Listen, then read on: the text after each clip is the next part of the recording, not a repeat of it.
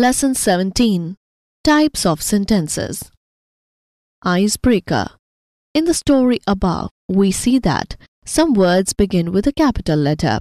Let us understand these words. The first word of every sentence begins with a capital letter. Examples This made him. In his. All special names begin with a capital letter. Names of people. Examples Chhatrapati Shivaji Maharaj, Jijabai Bhonsle. Names of pets. Examples Bruno, Fluffy. Names of places. Examples Pune, Agra. Names of days. Examples Sunday, Friday. Names of months. Examples February, September. Names of festivals. Examples Diwali, Holi, Eid.